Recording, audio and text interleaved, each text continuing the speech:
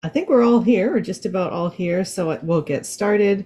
Uh, good morning, everyone. Thank you so much for joining us. Um, as Elisa is reminding us in the chat, the session is being recorded, so uh, feel free to turn your, your camera off, or uh, if you don't wish to, to be immortalized on, on this video. Um, we are very grateful to have you join us for this conversation. Um, in a moment, we'll give you an overview of the session, but as we begin, uh, I'd like to, to, to move to acknowledging um, that UBC and the homes from which we are presenting today in Vancouver are on the traditional, ancestral, occupied, and unceded territories of the Squamish, Musqueam, and Tsleil-Waututh nations. We invite you to put your own territorial acknowledgements in the chat if you're joining us from another location. Recognizing that such acknowledgements must be paired with actions, we do so with reflection on how teaching and learning with integrity, as we consider today, must always engage with the histories of education as colonial, with recognition of harms done through these practices, and we commit to ongoing learning, rethinking, and active disruption of those legacies. Ainsley, can you take it, take us, take it away? Great, thanks, Laurie. So my name is Ainsley Rouse. I'm the Academic Integrity Senior Manager in the Office of the Provost and Vice President Academic.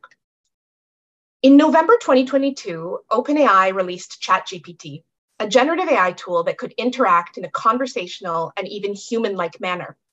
Immediately, concerns were raised about its impacts on education, on assessment, on the essay, and the response from higher education was divisive.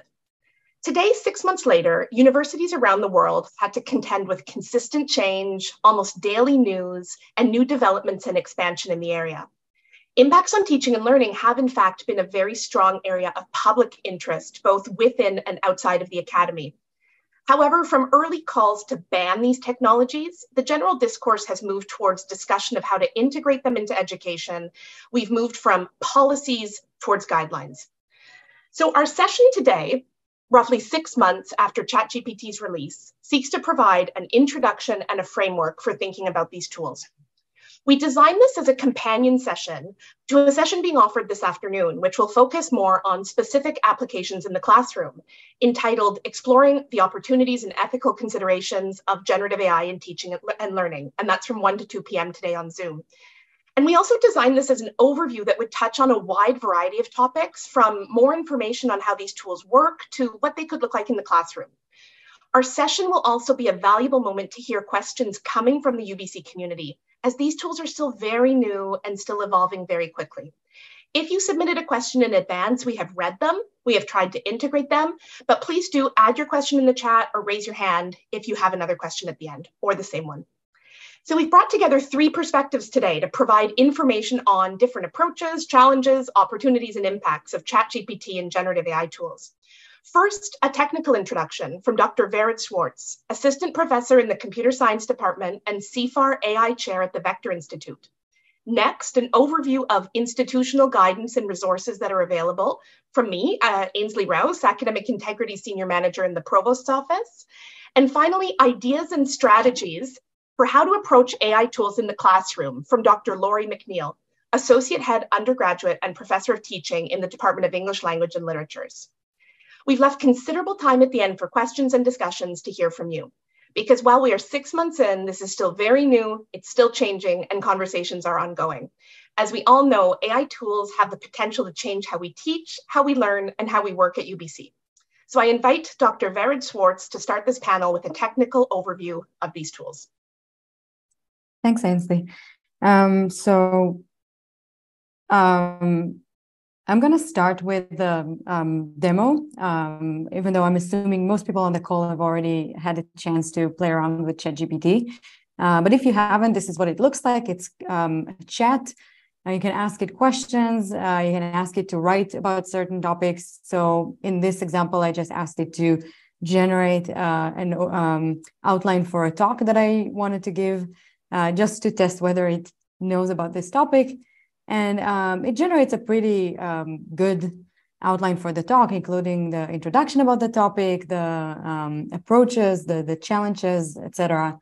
Uh, and and I haven't actually follow, uh, followed the advice and tried to create the talk based on the um, the outline that, that it generated. So I don't know if it it's perfect, but it's definitely uh, impressive in its ability uh, both uh, to understand my question that I wrote in, in natural language in English um, and in, in the coherence and relevance um, and grammaticality and the, basically a human-like text that it generated.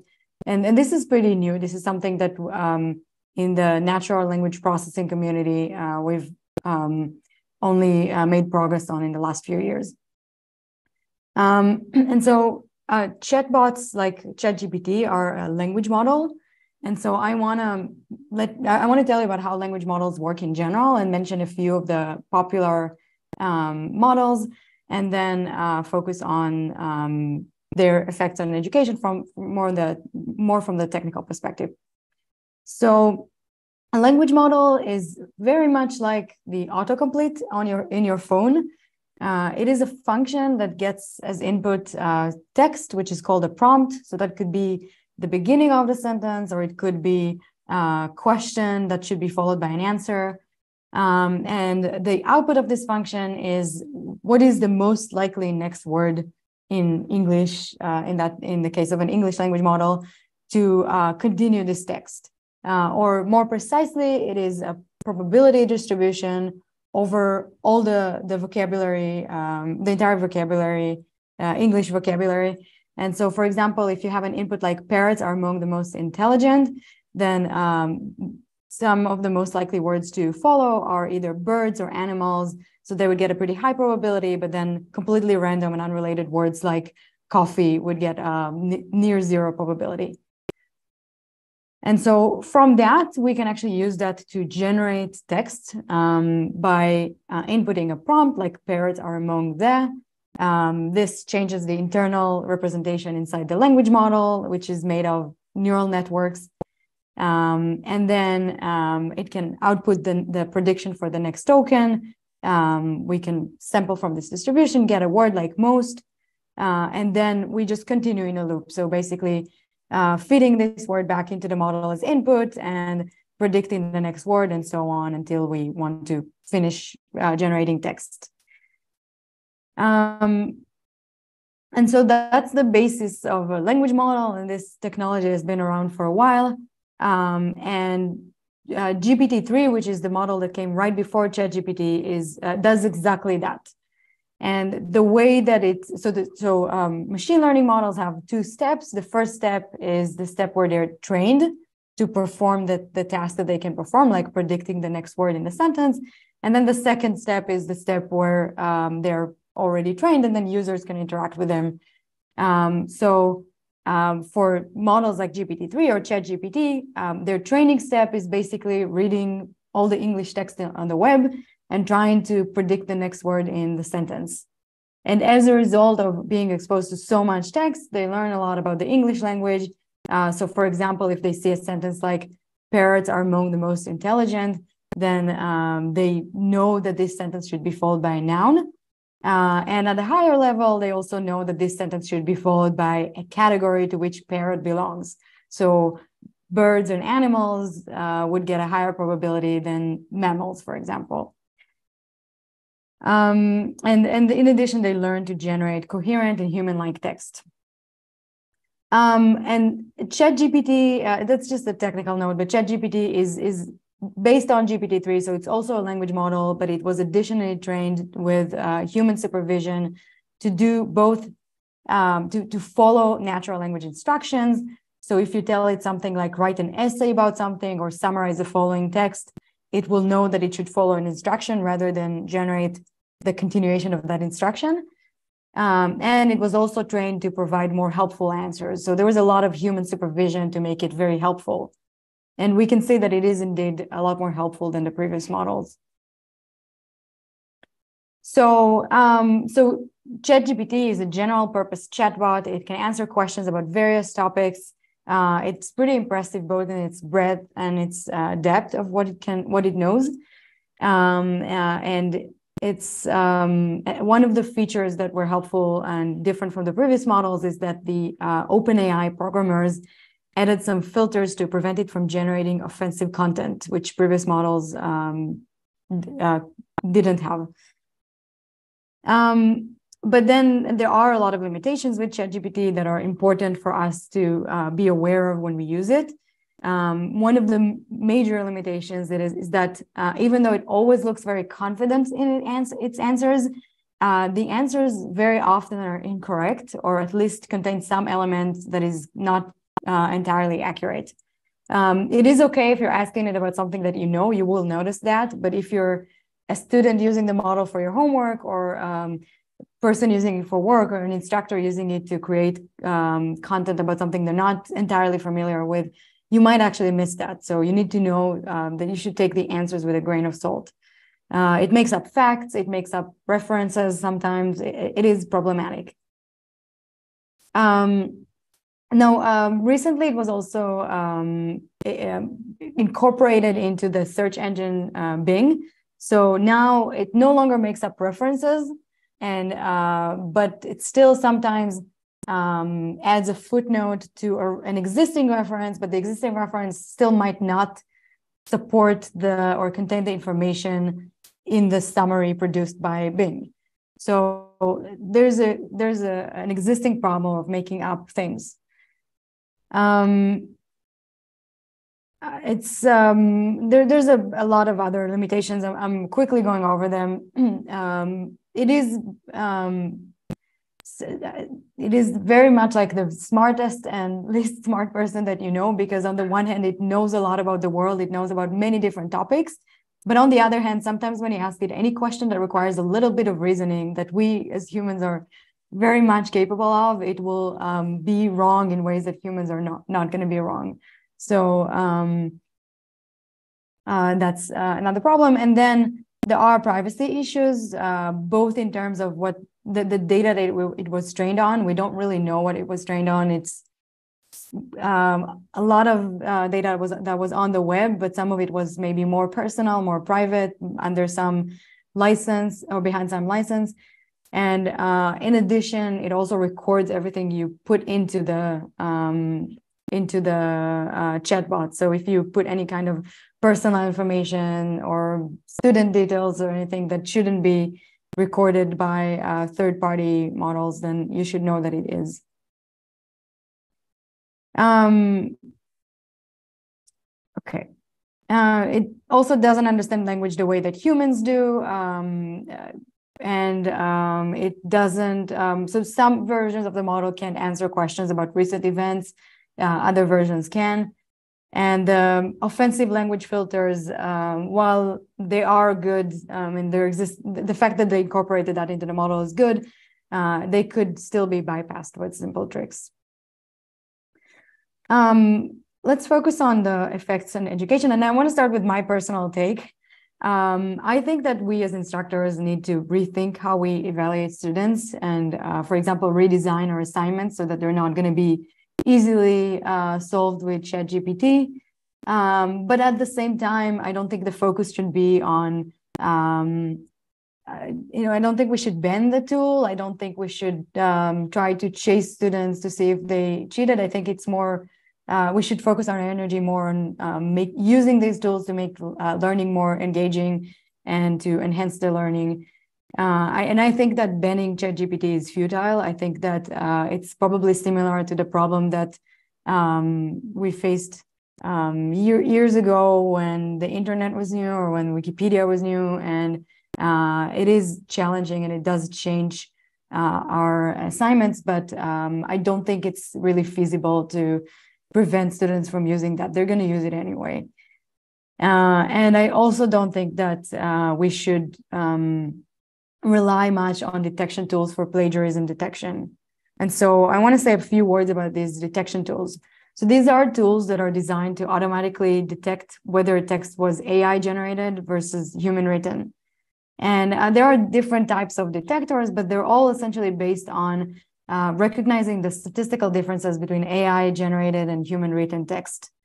And um, as these uh, language models become better and better, um, it is actually becoming harder to differentiate um, or to find statistical differences between the two. Um, so the, the detection tools are actually getting worse.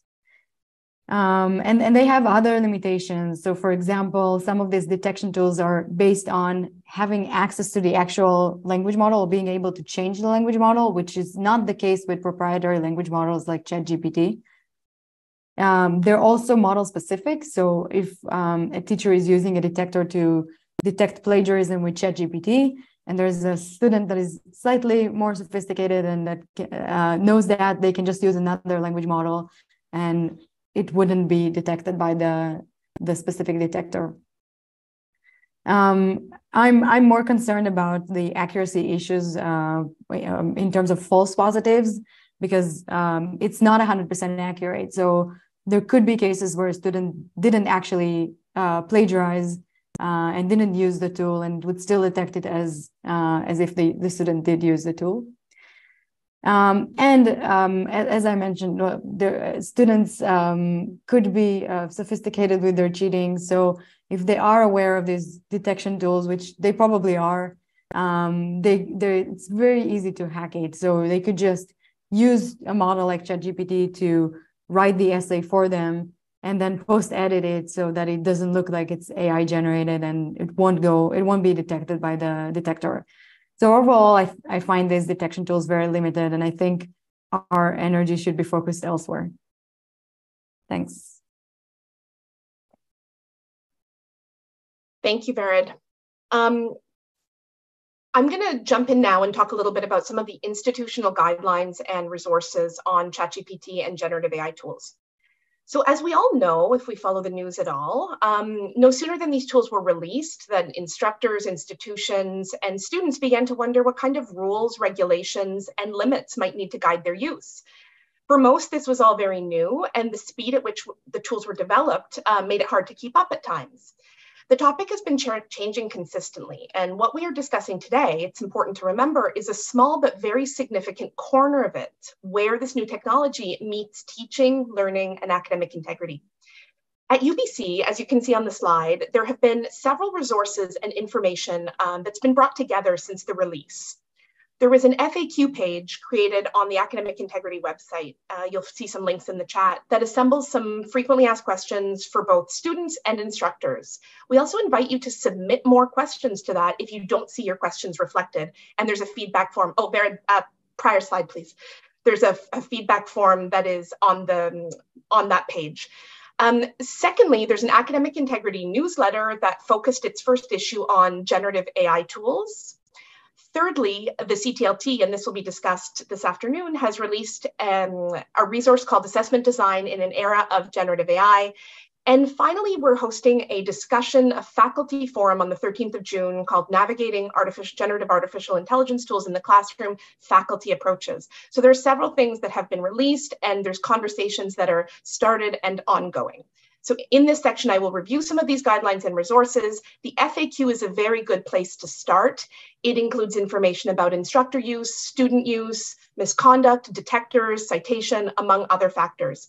So today, in the seven minutes that I have, I'm going to talk more specifically about institutional guidelines. Is there a ban on AI tools, AI tools and academic misconduct, and lastly, AI detectors. Next slide, please, Vered.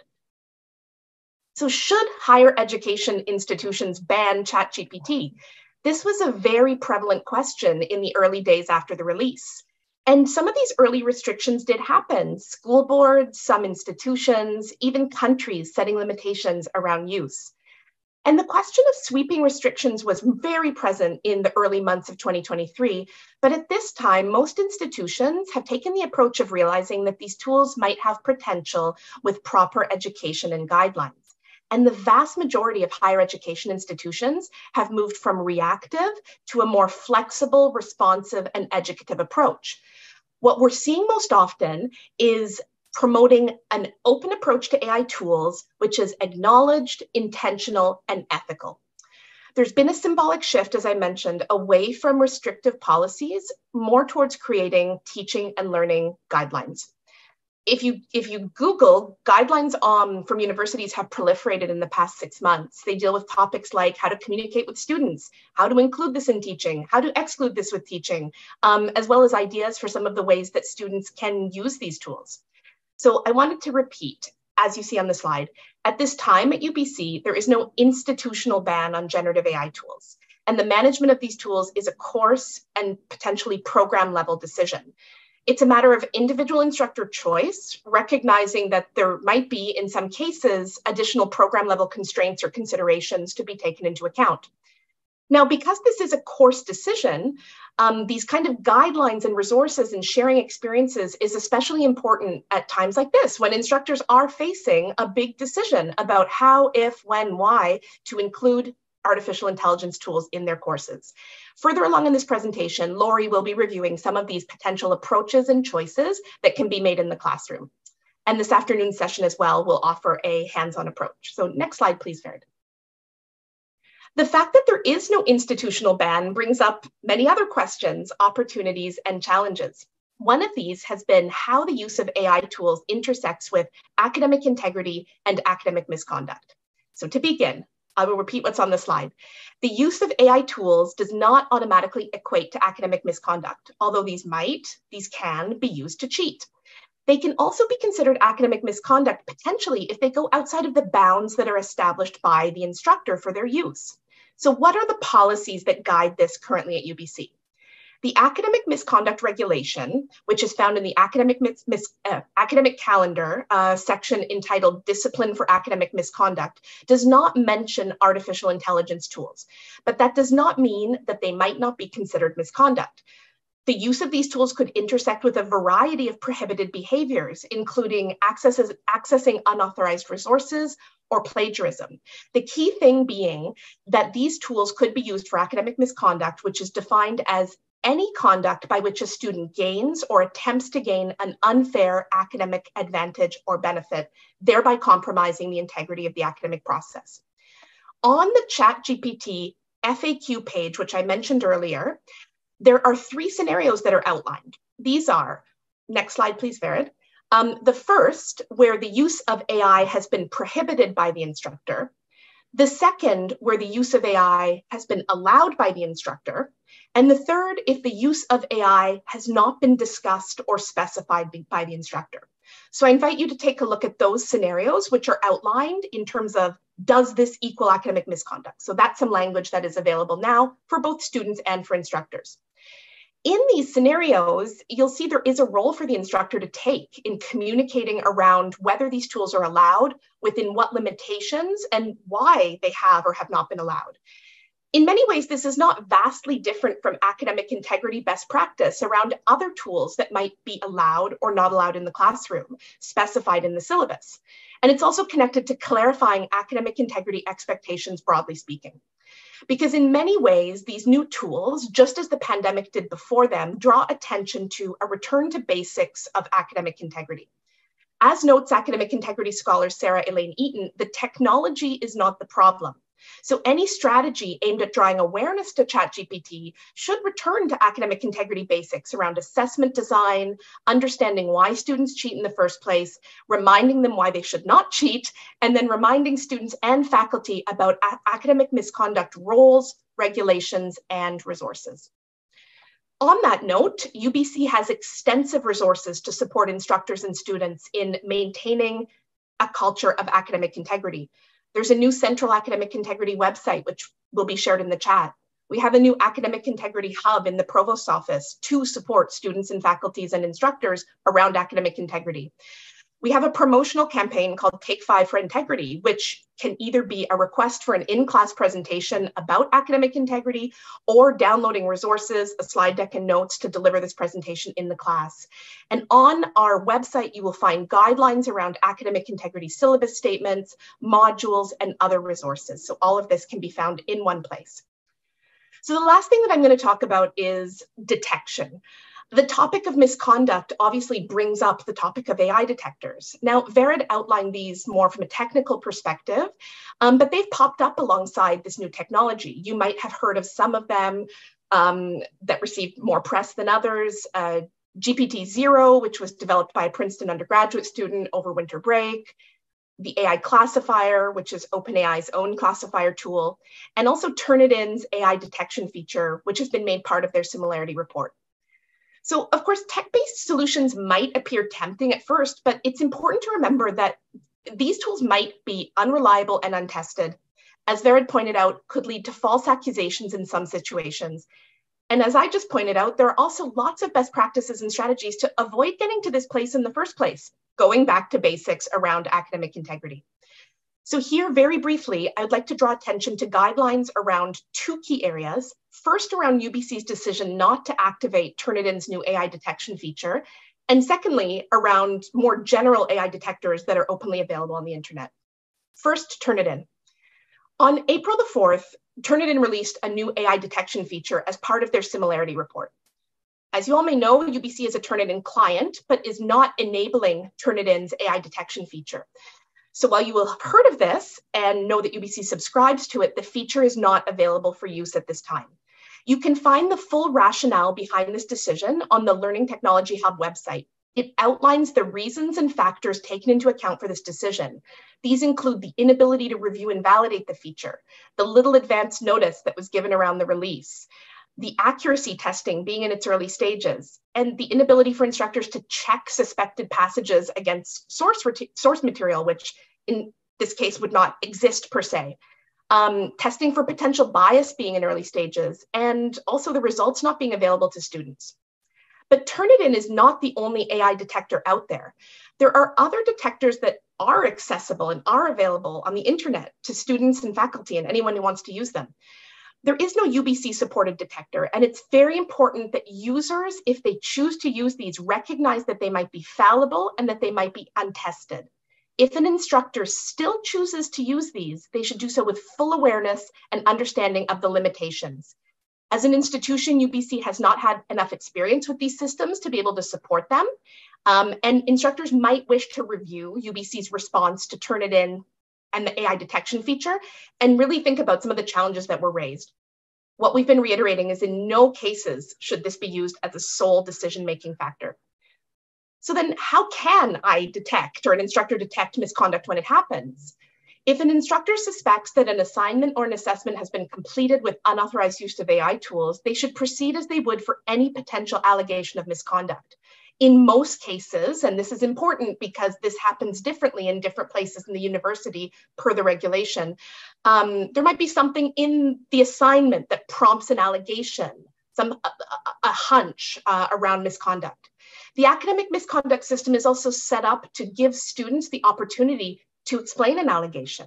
So for an overview of the misconduct process, um, I invite you to also consult the Academic Integrity website, where there's an outline of the academic misconduct process for students and for faculty.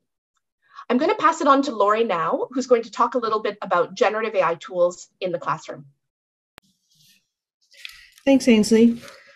I begin um, first by wanting to acknowledge um, the potential wrecking ball effect of uh, Gen AI, ChatGPT, and, and other forms of generative um, artificial intelligence, I'm a little bit concerned that the panic about this kind of AI is a threat to all of our hard won lessons about educative approaches to the other AI, academic integrity. We've learned so much about creating and maintaining a culture of integrity and I worry that this perceived threat may cause a return to the default rule based punishment and suspicion mode, the assumption that all students will cheat, and the reality that some students will be disproportionately accused of misconduct. So, key for me in thinking about teaching and learning in the ChatGPT era is that we have to remember we've already learned about how to foster and maintain cultures of integrity and then we can draw on our many resources, including the ones that Ainsley has just outlined, but also including our students to keep learning and adapting uh, to address this new development.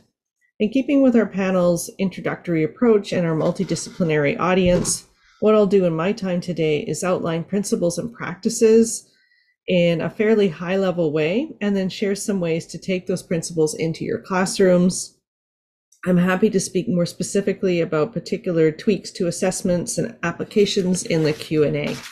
Next slide, please.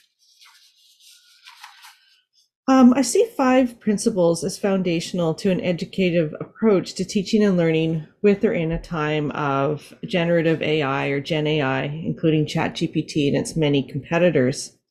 These are, as Ainsley has noted, really the same principles that underpin a general educative approach um, to academic integrity. And I hope we'll find that reassuring. We already have effective frameworks and strategies that will help us as we go forward. These principles include the work of learning about Gen AI, as you are by coming to this panel. For some of us, that may mean getting a handle on a technology that's unfamiliar to us. For some of our students, that may mean thinking in different ways about technology as not neutral and about the choices and responsibilities they have as users of this technology.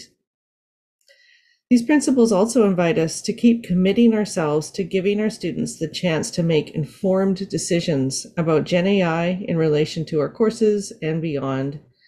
Ideally, we'll invite students as partners to help us redesign with AI in mind, allowing them to invest in their own learning and its evaluation.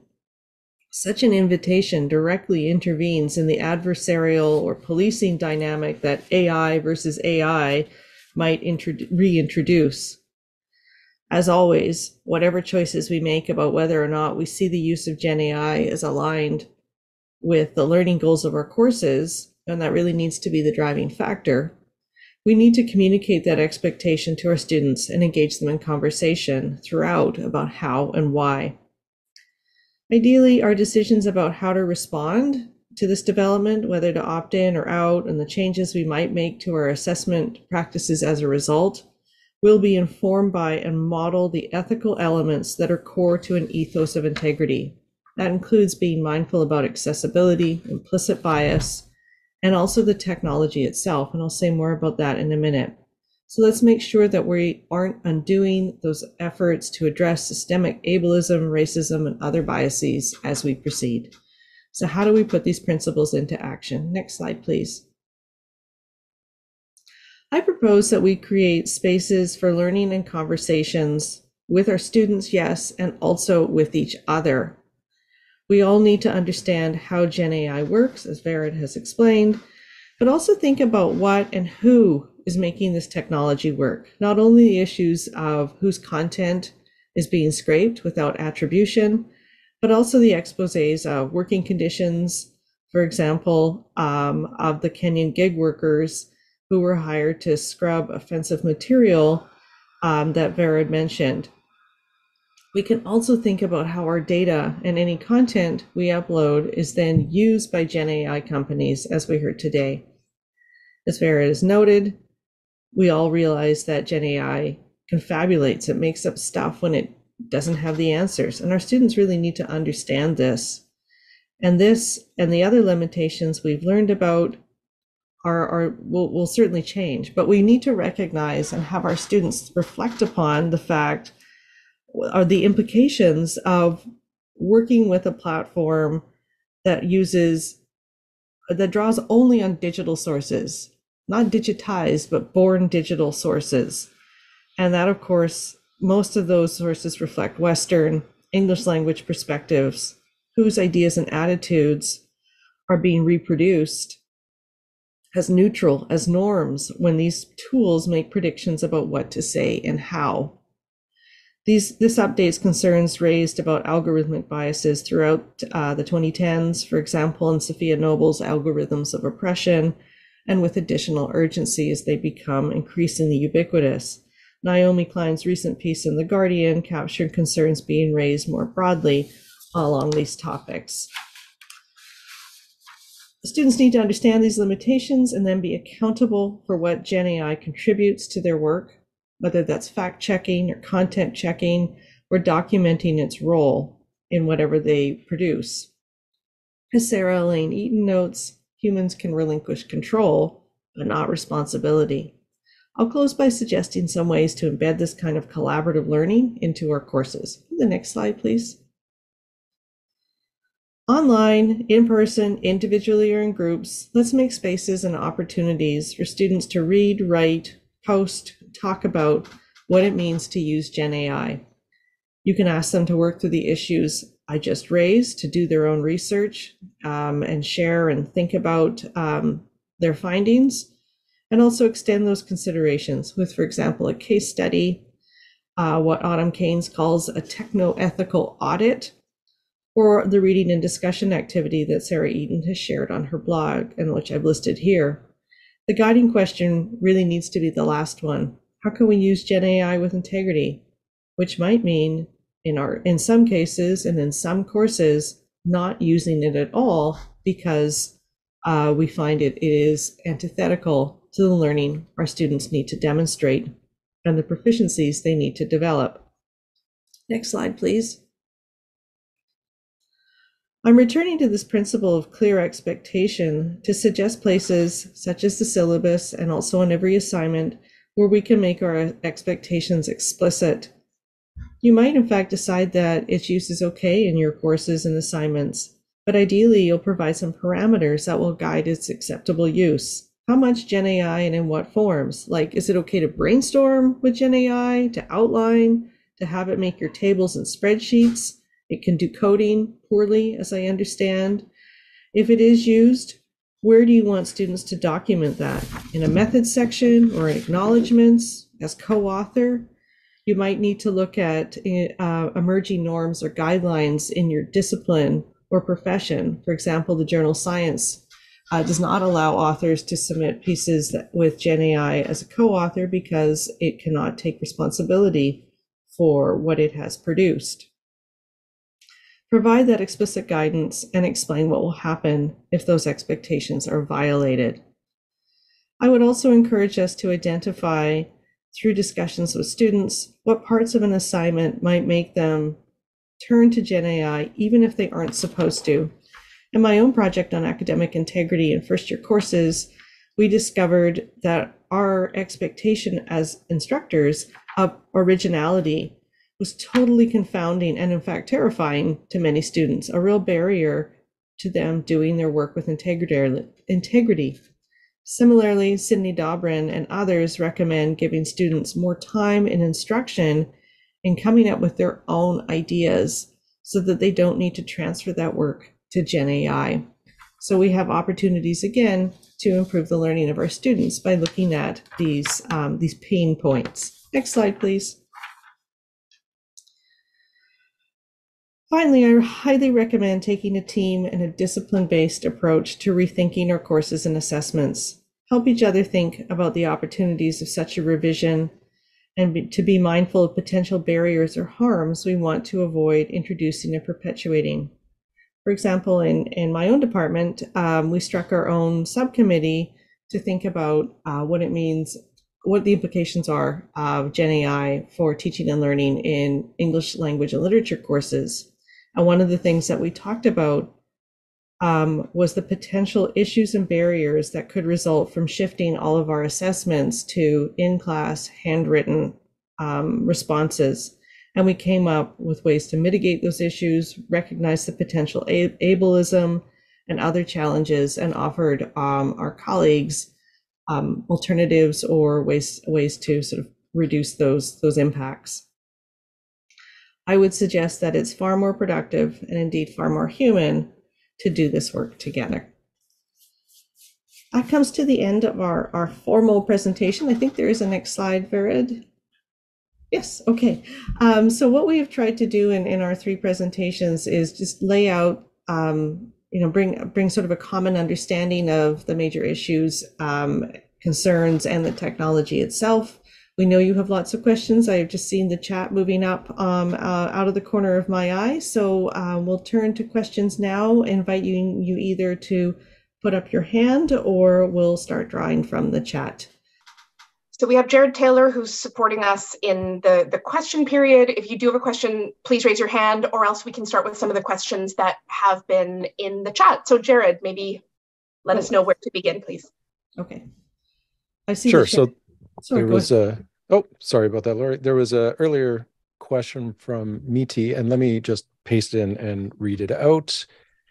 So I suspect this might be for Vered, but how easy is it to create open source models that have no limitations implemented and that are more unique? Um, so I think some of the limitations are more um, um, difficult to address right now than others. I think that right now, um, companies are already working on the factuality problem. So um, by incorporating these models into search engines, you can, it doesn't completely solve the problem, but um, you could uh, do some kind of fact checking on the, um, on the output of the model. Um, it's still a difficult problem. It's not a straightforward, there's no straightforward solution to that, but I know uh, that's something that companies are, are, probably pretty invested in right now. Um, so, um, but, but, the other problems like being able to um, to do a bit more of advanced reasoning. So, so if you just ask it to summarize some topic, if there's data on that on the web, it's probably going to do a pretty good job, minus the uh, inaccuracies that are sometimes um, that sometimes appear in the in the output. But if you ask it any kind of question that requires a little bit more thinking, um, that's actually uh, not guaranteed to. Um, it's not guaranteed to um, quote unquote understand it because of the reasoning problem that I mentioned earlier. Uh, when when we read a question or when we we read a paragraph with some information, um, language is actually very very efficient. So it's often underspecified and we don't provide more information to the reader than we think that they need. So we don't we don't repeat things that are common sense or things that we think that other people already know. So there's a lot of reading between the lines that we do and these models are not necessarily always capable of doing that. So sometimes they would make that that's why i said that it's both the smartest and the least smart. It's like the it's like the least uh, the smartest and the least smart person that you know because on the one hand it knows a lot of uh, a lot about many different topics in the world. But on the other hand you, it could sometimes make a really silly mistake when any kind of reasoning and reading, reading between the lines is involved. So some of these problems are more difficult. I, I don't know that um, yeah I, I, I, it's hard to predict when or whether it's easy to or straightforward to solve them in the uh, near future. Thanks Vered. Um, I've got to look on the chat now, so I'm just going to run through a few of these questions if that's okay for everyone. Um, I might jump to Tiffany's and then sort of move a, around. Um, so Tiffany Potter asks in the chat, Laurie, could you please briefly share with everyone the recommendations you made to ELL? I, I was just trying scrolling to find see if I could find the document and just pop it in the chat, um, but I can't apparently multitask. Um, what we did in that uh, group was bring together four or five faculty um, from across our department, across ranks, um, to think about the particular kinds of assessments um, and the kinds of learning that we want our students to demonstrate in English language and literature courses. Um, and then offered some recommendations about whether and whether if you want to use it um, and and how um, how you might do that, but also how to use it with with integrity. If you so if you give me a, a moment, I'll see if I can find the the document and I'll just I'll just share it in the chat. Great, thanks, Laurie.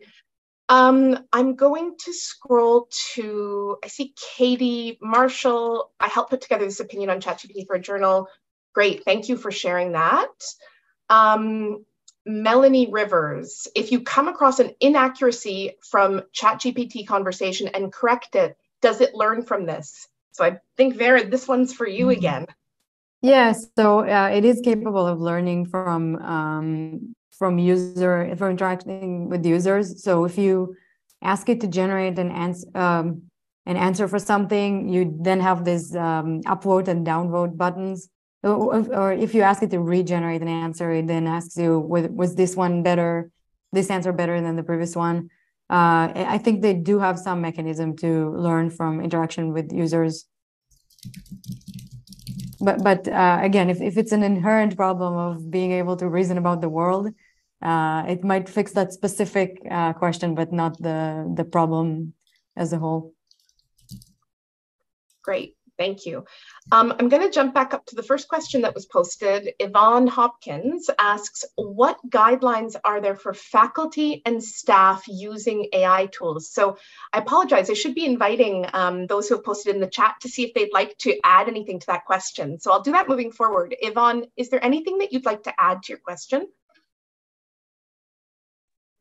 Hi. Um, Not particularly. More, my question revolves around people using it, maybe even to be helping develop curriculum or the work that they're doing in regular admin work. Um, what is there any guidelines that have been put out for that?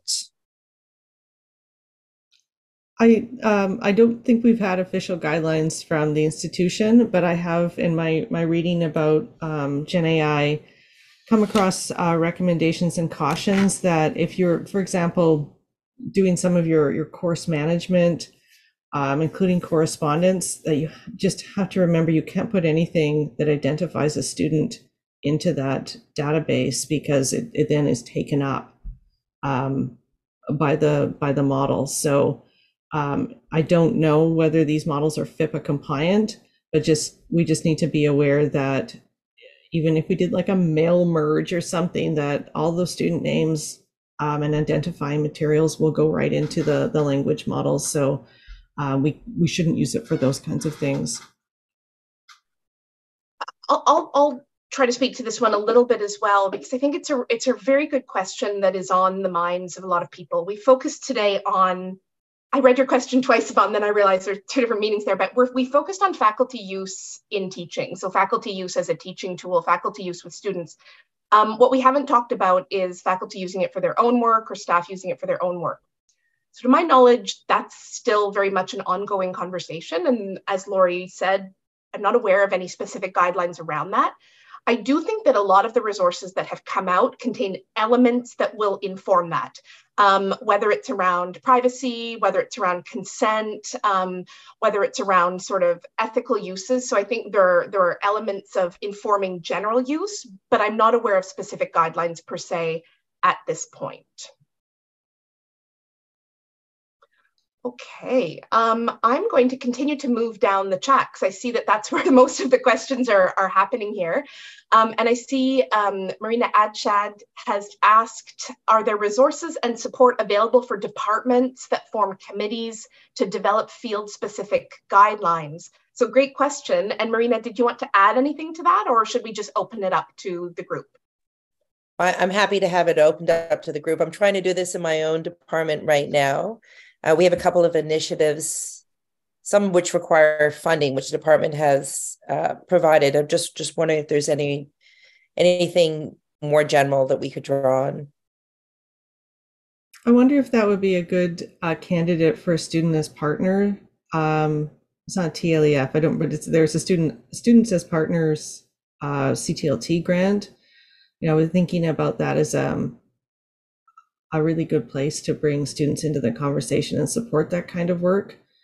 Um, Ainsley and Jared might know of other sources of funding, but I, I think typically it's the, um, it's at the at you know funding at the at the level of the department, but um, a, a TLEF, and and so in addition to student as partners, um, uh, another uh, another source might be a, a small TLEF for the coming year. That's great, Laurie. Thank you. I actually have a little initiative running in my department, which I'll write about in the chat because it's fun. It takes a small amount of funding, but it's actually, it seems to be going quite well. But I won't take up time here with it. Thanks, Marina. That would be great if you could share that in the chat. Um, I would just add that on our FAQ page, we do have a list of sort of funding for research in the area. So some of these might be relevant, some of them might be not, uh, not relevant to this particular um, question, Marina, but it's worth, we've listed a couple of different sources there. But if we're talking about sort of more general support that's not financial support, um, I think this is also a good question for the faculty forum. We have the faculty forum on the 13th of June, where we're really trying to get a sense of and discuss and share experiences around how different faculties are addressing this at the department level, at the dean's office level, at the course level. So I hope we can bring this one back to, to that event as well. Okay. Um, let's see. Vered, did you have anything to add to, to that or should we move to the next question? Uh, no, we can move to the next question. Okay. So I'm going to go down to, oh, this is a good one. Why not? Um, Shauna, because I think we have some people as guests. Um, could you tell us a little bit about this afternoon session? So I saw Christina and Lucas in, in the room. Uh, sorry to put you on the spot, but could you mention very briefly what this afternoon session is going to cover?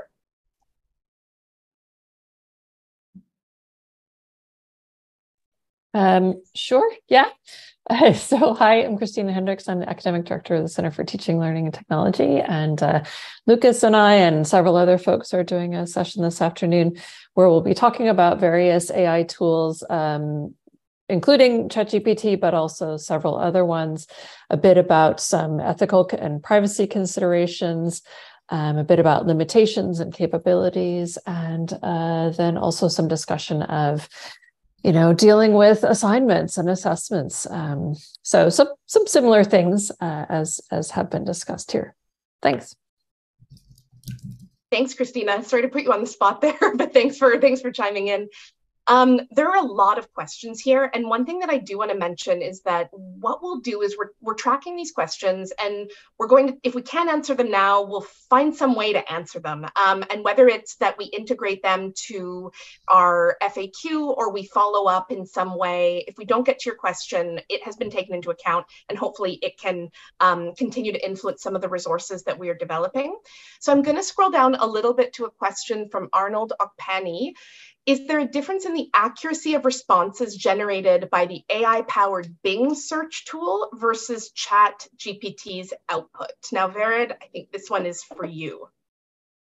Yeah, I've seen some uh, helpful answers uh, in the chat. So, yeah, one of the main differences is that uh, Bing has uh, access to the web. Um, and so it can answer questions about recent events whereas uh, ChatGPT uh, was trained on data up to 2021, so it can't answer about anything after 2021. Another uh, major difference is that when Bing Summer uh, provides some answer, um, almost every uh, information that it provides has this footnote with a link to a URL that is supposed to support this uh, information.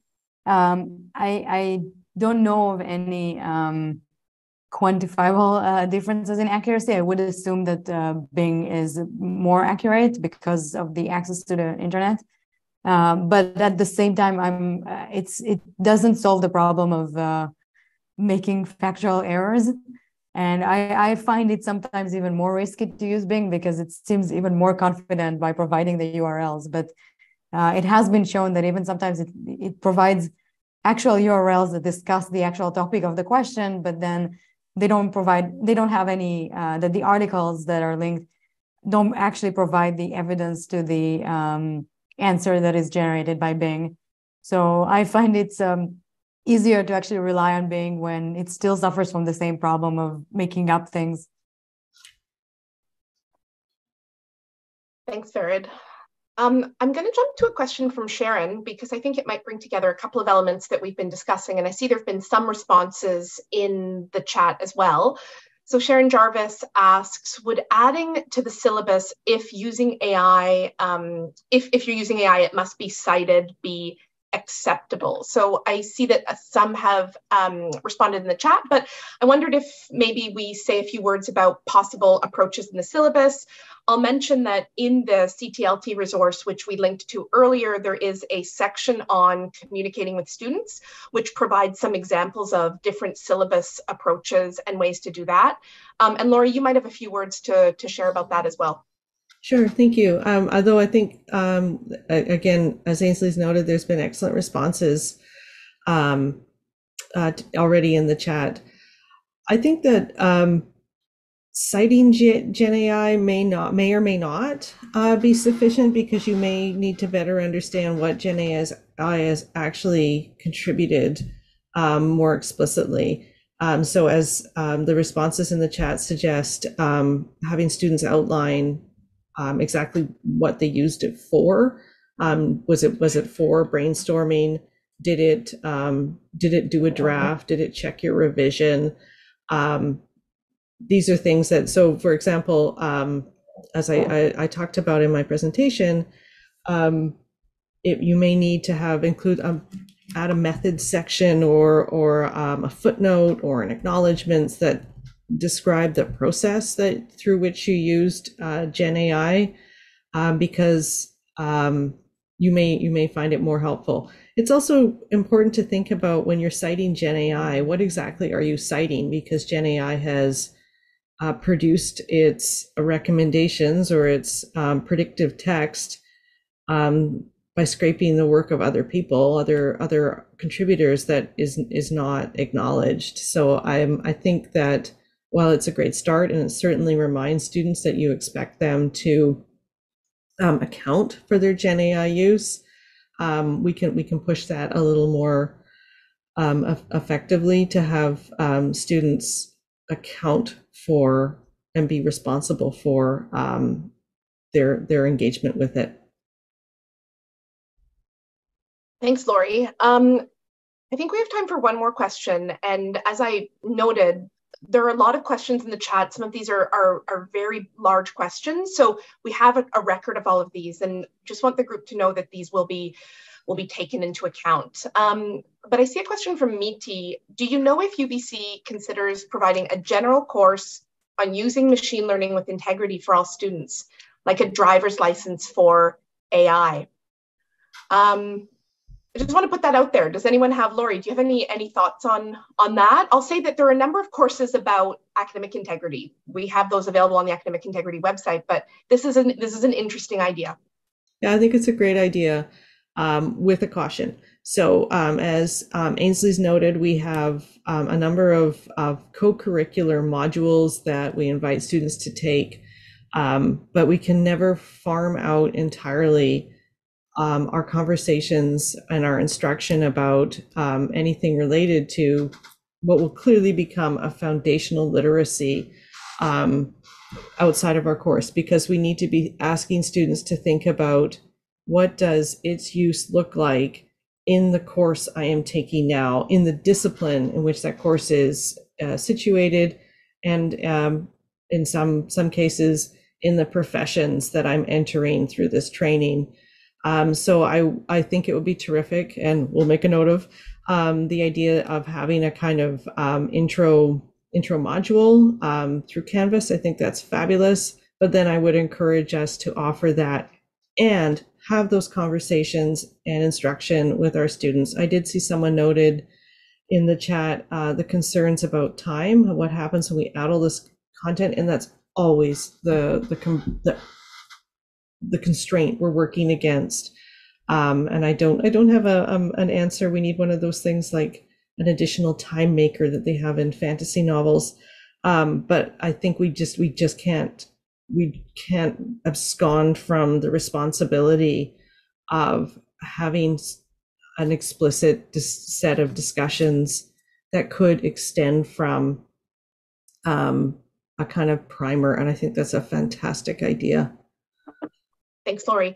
I see we've reached 1030. Um, thank you all very much for joining us today and, and being so active in the chat with the questions. It's really been extremely enriching to not only talk about some of them, but be able to know what questions you have. As I said, this will continue to nourish and inform the work that is very actively still going on. So thank you all very much for joining us today. And thank you to the wonderful panelists, Laurie, Vered, um, for being a part of this conversation. Thank you.